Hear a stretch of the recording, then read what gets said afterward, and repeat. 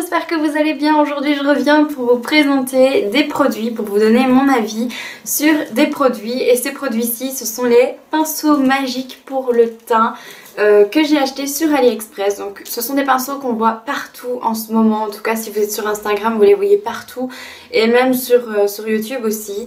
En fait ce sont les pinceaux euh, hyper poilus, hyper chargés qui permettent vraiment de faire le teint en frottant sur son visage et c'est censé donner un teint parfait. J'étais trop curieuse de tester ces pinceaux là, vous savez je suis une très très grande fan de pinceaux, j'en ai énormément et j'avais trop envie de tester. Seulement la vraie marque de ces pinceaux là, c'est 80 euros le pinceau. En tout cas, c'est dans ces zones de prix là. Et c'est vraiment trop cher pour moi. Moi, je ne veux pas mettre ce prix là pour un pinceau. Du coup, j'ai cherché une alternative et j'en ai trouvé sur AliExpress. C'est un lot de 10 pinceaux. Il y a 10 pinceaux pour le teint et je pense 10 pinceaux pour les yeux. J'ai pas testé ceux pour les yeux, je n'ai testé encore que ceux pour le teint. En fait, moi, je voulais surtout ceux-ci, mais bon, j'ai pris le lot euh, avec tous, parce que ça vaut toujours la peine de pouvoir tout tester. Et le lot était à 10 euros, je pense. Donc, je vous mettrai de toute façon le lien pour le commander en barre d'infos si jamais ça vous intéresse. Donc j'avais trop envie de les tester, je les ai reçus assez rapidement je pense, un petit peu plus de deux semaines mais je pense que c'était même deux semaines. Et je suis vraiment super heureuse de pouvoir tester ces produits-ci pour un si petit prix parce que j'aime trop les pinceaux, je voulais trop tester, je suis toujours à la recherche d'un truc qui va me faire vraiment le teint parfait.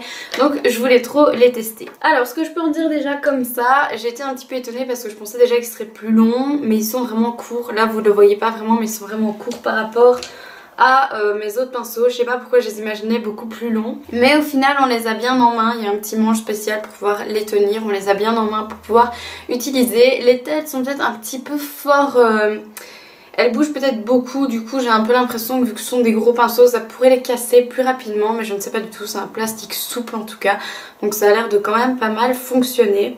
Ils sont vraiment très très denses, il y a énormément de poils dans ces pinceaux là, euh, je suis super étonnée de voir tous les poils qu'il y a dedans. Les tailles sont plutôt pratiques, donc celui-ci moi je vais l'utiliser pour mon teint global. Euh, celui-là je ne l'ai pas encore utilisé et il y en a encore euh, trois autres donc il y a vraiment 5 euh, tailles différentes pour le teint en fonction de ce qu'on veut utiliser, pourquoi.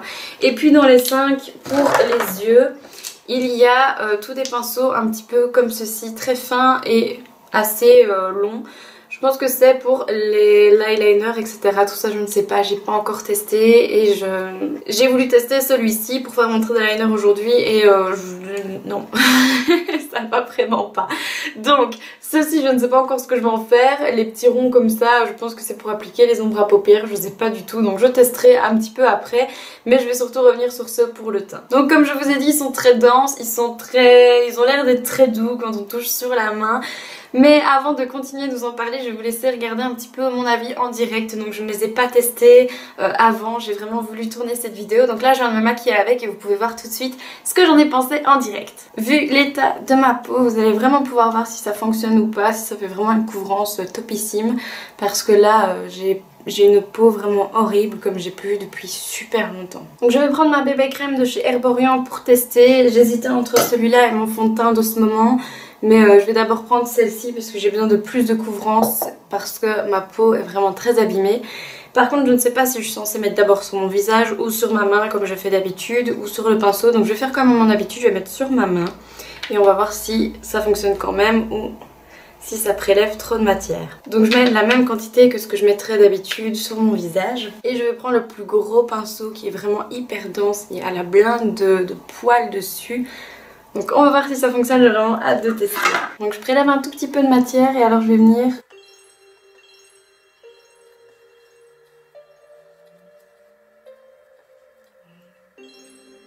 La sensation est hyper agréable parce que c'est vraiment très très doux. J'avais un petit peu peur que ça fasse les traces euh, des poils et pas du tout en fait. C'est ça qui, m'étonne un petit peu.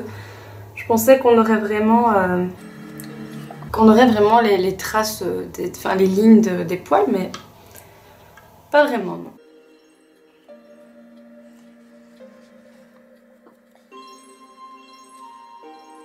Au final, il fait même très très peu de produits.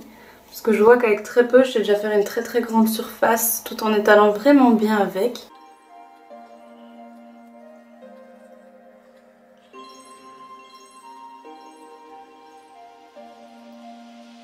Je trouve juste que comme ça étale le produit, vu que moi j'ai l'habitude de ma Beauty Blender, j'ai un peu l'impression que ça, vient trop étirer, du coup ça n'a pas de couvrance comme ça devrait avoir normalement. Mais à la limite, vu que j'ai toujours tendance à appliquer euh, mon fond de teint d'abord avec un pinceau et puis après estomper avec une Beauty Blender en rajoutant un autre par-dessus, je trouve que ça va quand même. Et je vous dis, l'application est tellement douce, tellement agréable. J'ai juste l'impression que les pinceaux sont super fragiles. Euh, ils s'étirent vraiment fort. Voilà, donc ça, c'est pour l'application de base de mon fond de teint avec le plus gros. Avec celui un tout petit peu plus petit, je vais venir appliquer un tout petit peu de mon autre fond de teint, ce que je fais en fait quotidiennement. J'applique toujours un petit peu des deux et je trouve que la couvrance est vraiment bien, surtout quand ma peau est très abîmée et très marquée avec des boutons et tout ça, comme c'est le cas en ce moment. Donc je vais juste tester parce qu'en plus j'ai envie de voir avec ce fond de teint là qui est beaucoup plus liquide ce que ça peut donner. Petite brosse là, elle est un tout petit peu moins douce que l'autre. Mais elle permet de vraiment bien aller dans les, les zones du visage.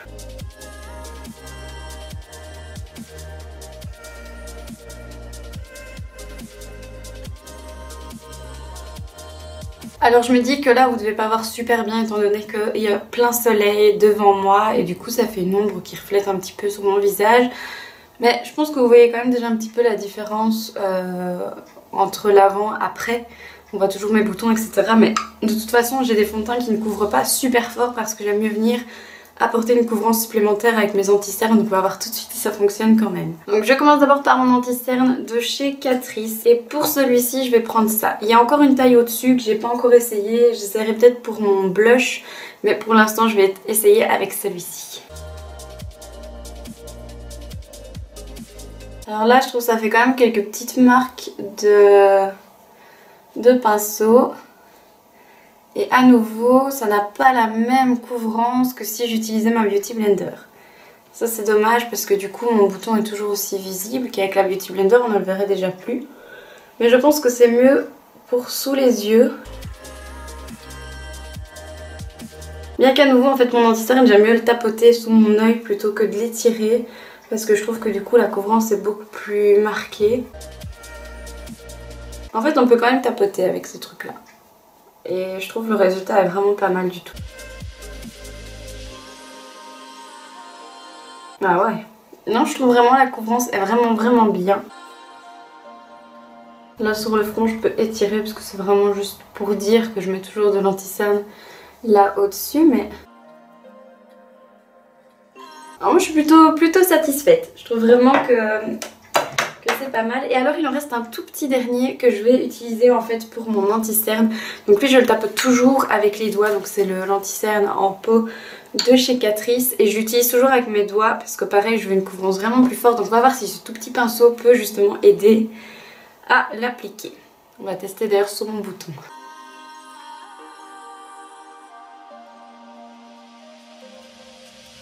Eh bien écoutez, c'est vraiment pas mal du tout. On le voit encore un peu parce que malheureusement c'est vraiment un très très gros mais... Ah non, je suis, vraiment contente.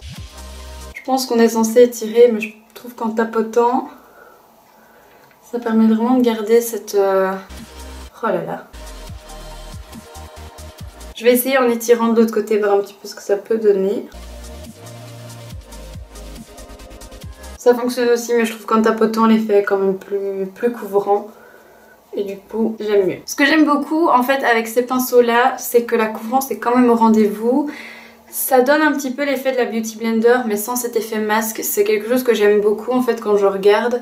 J'ai du fond de teint mais ça reste quand même très naturel et ça continue à montrer un petit peu les défauts de ma peau. Euh, quelque chose que j'aime beaucoup parce que j'aime bien que ce soit très naturel. en tout cas que mon maquillage ne fasse pas effet masque. Et euh, là c'est ok. Donc euh, tout, tout, est bien couvert, tout est bien, euh, mon teint est bien unifié. Et pourtant on voit encore un petit peu l'aspect de ma peau. Donc je trouve ça vraiment bien parce qu'avec la Beauty Blender j'ai tendance à essayer de camoufler vraiment un maximum. Et du coup ma peau est un petit peu, on voit que c'est un petit peu fort chargé. Qu'ici je trouve que non, pas du tout. Donc voilà, je termine le reste de mon maquillage et puis je reviens tout de suite après pour vous donner mon avis général. Du coup, ce que j'en ai pensé, vous l'avez vu dans la vidéo, je les ai appréciés. J'avais un petit peu peur à la base que on voit les traces des poils sur le visage, donc qu'il y ait plein de lignes sur le visage et ce n'était pas le cas. Au niveau de la couvrance, je trouve qu'il faut pas énormément de produits pour pouvoir bien appliquer sur l'ensemble du visage, donc ça c'est un point positif aussi. Par contre, je trouve que pour les plus petits, pour l'anti-cerne, j'aime autant tapoter le produit. Déjà parce qu'à la base, je n'étale jamais mon anti-cerne, je le tapote sur mon visage. Mais avec ces pinceaux-ci, c'est clairement faisable et du coup, c'est vraiment couvrant. Sauf ici où j'ai vraiment un bouton énorme que j'arrive pas à camoufler même en temps normal. Ce que j'aime beaucoup aussi, c'est qu'avec cette application-là, c'est couvrant tout en laissant vraiment le grain de la peau apparaître sans que ça fasse un effet masque. Et ça, c'est vraiment un point très positif de ces produits-ci. Et voilà, du coup, je vous les recommande vraiment très très très vivement surtout pour le prix. Donc c'était 10 ou 11 euros je pense pour le lot. Mais comme je vous ai dit, je vous mettrai de toute façon le lien en barre d'infos pour pouvoir les commander chez le vendeur que je les ai commandés. Et j'espère que ça vous fera tout aussi plaisir qu'à moi. Euh, je suis toujours à la recherche de pinceaux pour avoir vraiment un teint parfait assez rapidement. Et je pense que là j'ai trouvé quand même mon truc. J'étais très étonnée quand j'avais vu la vidéo de Sananas qui elle a le vrai. Elle a pas euh, une sous-marque AliExpress mais elle a le vrai. Et j'étais très étonnée de voir qu'effectivement sur son teint c'était vraiment très beau. Maintenant je pense que ça dépend aussi des fonds de teint qu'on utilise. J'ai trouvé qu'ils allaient encore mieux avec mon Naked Skin de chez Urban Decay qui est beaucoup plus liquide qu'avec ma bébé crème d'Herborian. Donc à voir aussi en fonction de votre fond de teint, il faut tester et il faut voir au niveau de votre appréciation personnelle. Du coup je vous les recommande vivement même si ceux-ci, euh, je ne sais pas trop encore comment je vais les utiliser, mais ceux-ci sont vraiment bien. En fait je les ai reçus hier et je les ai lavés pour pouvoir vraiment les utiliser aujourd'hui parce que voilà je trouve que c'est quand même des pinceaux je préfère toujours nettoyer les nouveaux pinceaux plutôt que de les utiliser comme ça. Mais je suis conquise dans l'ensemble, il y a juste ces 5-ci qu'il va falloir que j'apprenne à euh, les manier pour voir un petit peu à quoi ils peuvent servir, à quoi ce qu'ils peuvent m'apporter. Mais ces 5-ci d'office, je vais les utiliser quasiment quotidiennement parce que j'adore cette texture, j'adore cette application et je pense que ça va remplacer ma Beauty Blender. Du coup, eh bien c'est un test positif pour ces pinceaux-ci d'AliExpress. J'espère que cette vidéo vous aura plu. N'hésitez pas si vous avez n'importe quelle question à me poser, posez-la moi en commentaire, j'y répondrai avec grand plaisir. Retrouvez-moi sur tous mes réseaux sociaux les liens seront en barre d'infos. Je vous conseille d'aller sur Instagram parce qu'en ce moment il y a un tout petit concours pour mes 950 abonnés sur Instagram et vous pouvez remporter celui-ci. Donc c'est un collier et un bracelet assorti. Donc je vous conseille d'aller sur mon Instagram, de vous abonner. De toute façon c'est le réseau où je suis le plus présente tous les jours. Je poste plusieurs photos par jour. Donc n'hésitez pas à me rejoindre là-bas et à rejoindre ma communauté de Pew Pew sur Instagram. Voilà, donc j'espère que cette vidéo vous aura plu. J'espère que mon avis en vous aura plu. J'espère que votre week-end s'est bien passé. Je vous souhaite une excellente semaine. Je vous fais plein de bisous et je vous dis à dimanche prochain pour ma prochaine vidéo.